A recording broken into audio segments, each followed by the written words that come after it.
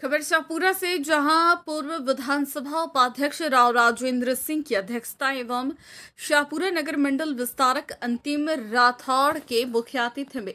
शाहपुरा नगर मंडल की मेरा बूथ सबसे मज़बूत एवं पन्ना प्रमुख कार्यक्रम के तहत मीटिंग का आयोजन हनुमत निवास बाग शाहपुरा में आयोजित हुआ। शाहपुरा विधानसभा क्षेत्र मीडिया प्रभारी मनोज कुमार टाक ने बताया कि मीटिंग की अध्यक्षता करते हुए राव राजेंद्र सिंह ने कहा कि आज राजस्थान में कांग्रेस के साढ़े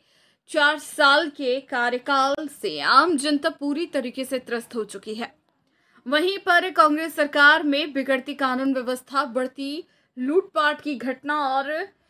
फैलते जंगल राज, भ्रष्टाचार, अघोषित विद्युत कटौती, किसानों के पूरे कर्ज माफ़ी के झूठे वादों जात पात की गंदी राजनीति को लेकर आमजन में गहरा रोष है। वहीं पर आमजन पूर्व भाजपा सरकार के बेहतरीन कार्यकाल को याद करता हुआ, जहाँ अपना पूर्ण समर्थन देता जा रहा है, जिसको लेकर के